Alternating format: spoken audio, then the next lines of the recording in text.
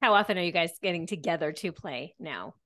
Well, we're rehearsing now for we have a big show here in Philly on Friday, the 7th of July. Um, we've played at the Laurel Hills Cemetery a few times now, and this is our, our return. Uh, last time we played was in uh, 2019 before the pandemic. So this is a big return for us.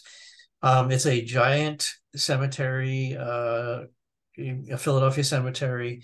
Uh, it's got a lot of um, old mausoleums and uh, there's sort of a natural amphitheater in front of the area that we uh, play. We we they build a stage and we set up in front of what's called the receiving vault.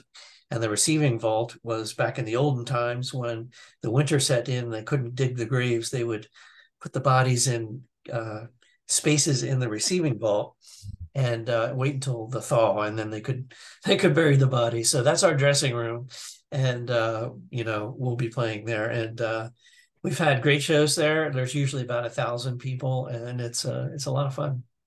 So is that a regular music venue or do they set it up as a music venue because they do like have events there? there. like they have horror movie nights and they have other uh, musical acts play there but it's not it's not exclusively a music uh, venue or anything so they have special events All right. So when you come to Los Angeles, we have the Hollywood Forever Cemetery. I don't know if you if you're familiar with that. There's a lot of shows there. There's a mausoleum there that a lot of bands play in as well.